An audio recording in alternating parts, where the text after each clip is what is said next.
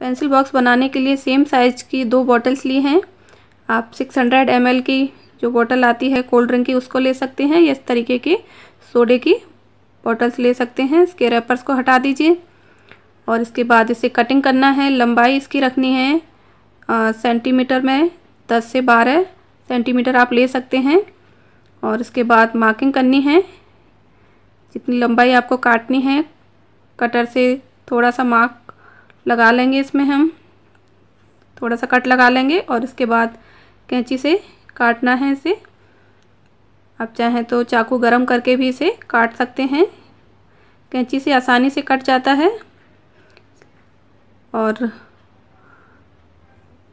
एक और हिस्सा मैंने इसी तरीके से काट लिया है बॉटल का, जो दूसरी बॉटल थी। और इसकी लंबाई चार उंगली के आसपास है। इसे हम कैप की तरह से यूज़ करेंगे। और दोनों के किनारों को अच्छी तरीके से इवन कर लें।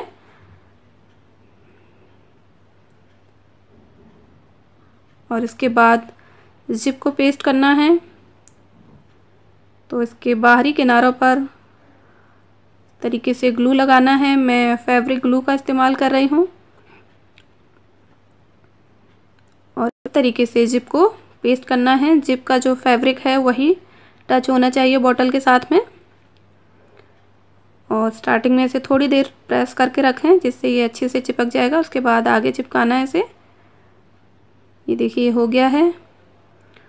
और ये जो एक्स्ट्रा जिप है, इसको काट करके अलग कर देंगे।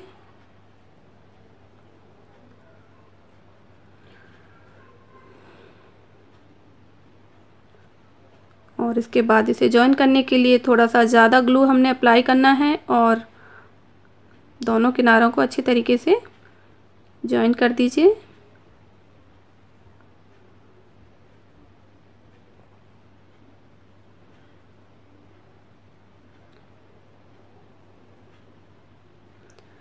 और इसे सूखने के बाद ही ओपन करना है। तो मैंने इसे पहले सुखा लिया है और इसके बाद मैं जिप को ओपन कर रही हूँ ताकि इसका जो कैप है उसको हम इसमें चिपकाएँगे इस तरीके से।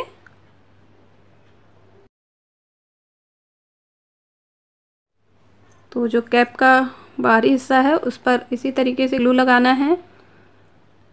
और जिप का जहाँ पर जॉइंट था, वहाँ से इसे पेस्ट करना है एंड तक। तो ध्यान से इसे पेस्ट कीजिए।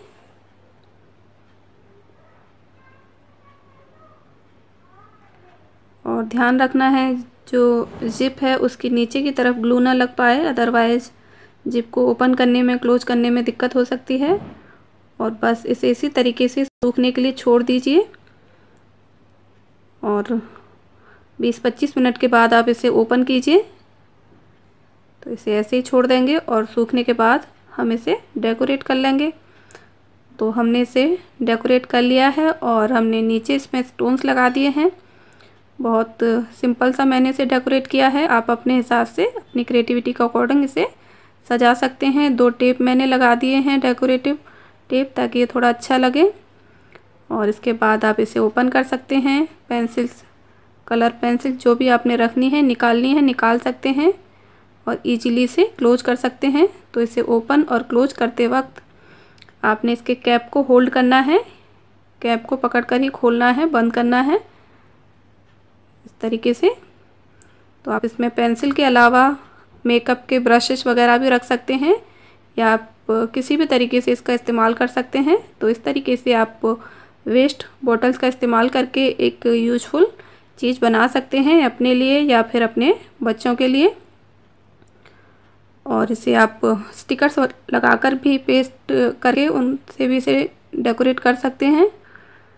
तो जैसे चाहे आप इसे डेकोरेट कीजिए। Thanks for watching.